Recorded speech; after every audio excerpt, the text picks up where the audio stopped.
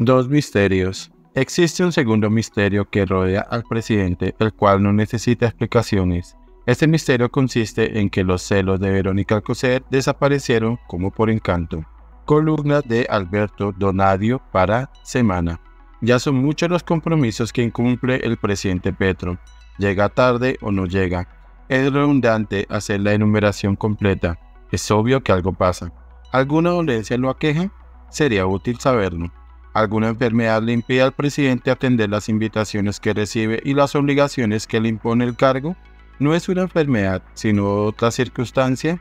Cuando Franklin Delano Roosevelt falleció en 1945 en Warm Springs, Georgia, donde acudía por las aguas termales del lugar, él era paralítico, no estaba con su esposa Eleanor, sino con su amante Lucy Mercer Rutherford, que fue secretaria de su esposa. Solo decenios más tarde lo supo la opinión pública. Tampoco supo el público que FDR era paralítico, lo que hoy llaman discapacitado. Lo sabían los periodistas, pero no lo revelaban. Es un misterio lo que aqueja al presidente Petro y en ninguna manera se deben tejer especulaciones ni lanzar consejas. Sería mejor dar de manera oficial las explicaciones sin tapujos, pero si no se hace tampoco se acaba el mundo. Si Petro capa clase, digo, si capa presidencia, de todas formas Nicolás Maduro y el 33% de los colombianos lo seguirán apoyando. Existe un segundo misterio que rodea al presidente, el cual no necesita explicaciones. Ese misterio consiste en que los celos de Verónica Alcocer desaparecieron como por encanto. Llama la atención que ella ya no sufre de celos porque fue algo que reconoció en entrevistas. En plena campaña electoral la señora Alcocer señaló, ¿Es celosa? Ahora no. ¿Recién casada? Sí. Estaba muy niña, muy chiquita. ¿Los celos se sanan? En la vida todo se sana. Imagínate tú, un político cada vez más conocido, cómo no se le van a acercar las mujeres. Hay gente que le ha agarrado el miembro a mi marido delante de mí. Vaya. Sí, es antipático, no gusta. Pero para darle bolas a eso, no. Cuando tenía celos, ponía mala cara. Me cambiaba el gesto, pero ya no. Absolutamente no. Sabemos positivamente que se curó de los celos, pues Alcocer no protestó por la joven de 28 años que acompañó a su marido a todas las horas durante 10 meses. Laura Sarabia. Alcocer escogió a la funcionaria según los audios de Armando Benedetti revelados por semana. En la alcaldía de Gustavo Petro, los celos de su cónyuge sí saltaron a la primera plana por revelaciones que hizo en un libro en las entrañas del poder, acoso laboral en la alcaldía de Bogotá, ícono 2013, y en entrevistas la diseñadora gráfica Leslie Cali.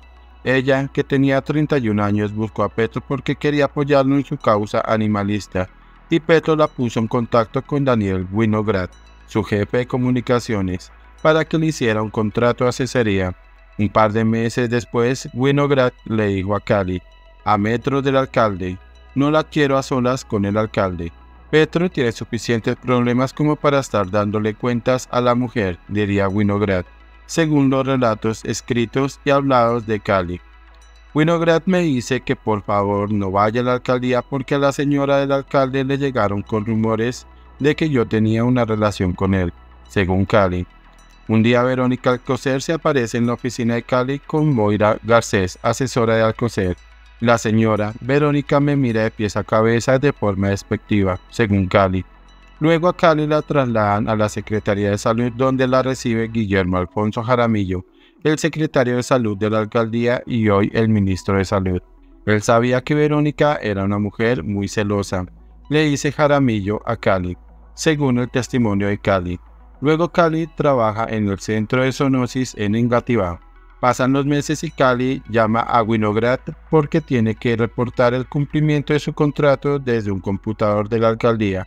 Winograd le indicó que no se le fuera a ocurrir aparecerse por allá y que se encontrara con alguien del equipo de comunicaciones en una tienda cercana a la alcaldía para firmar los papeles. Cuando ya iba a cumplir un año, con el distrito, Cali consigue trabajo en la casa de Nareño y pasa por la alcaldía para despedirse de Daniel Winograd.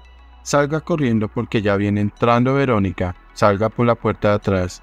Le implora Winograd. Cali se negó. Eso fue el 7 de diciembre del 2012.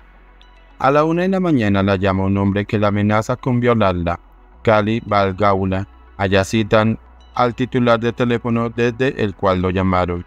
Ella señala que se encontró con un funcionario de la prensa de la alcaldía al cual escasamente conocía. Cali le pide que reconozca por escrito lo sucedido. Gobierno del cambio. Los congresistas ganan más de 10 mil dólares al mes. A los guayús les prometieron agua.